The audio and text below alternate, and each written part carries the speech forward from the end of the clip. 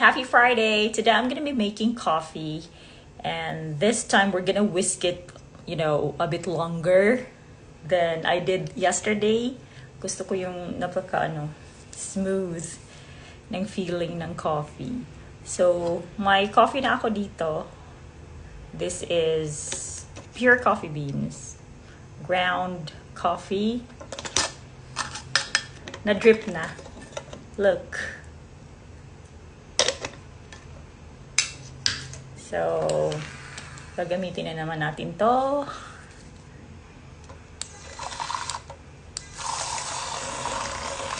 Ganyan lang.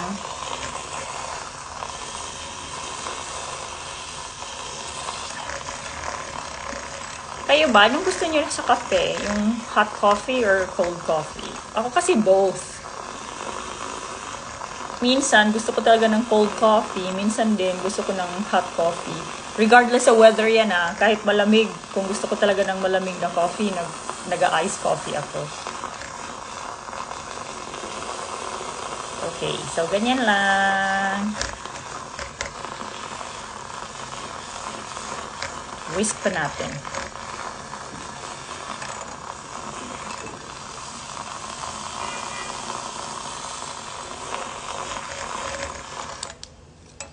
Okay, after nyan, I have, ano eh, I have ice here.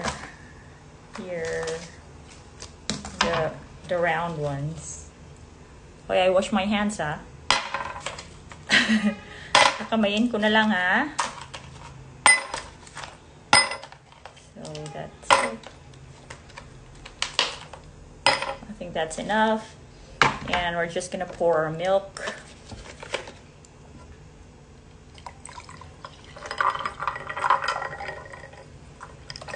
Okay, and then our coffee.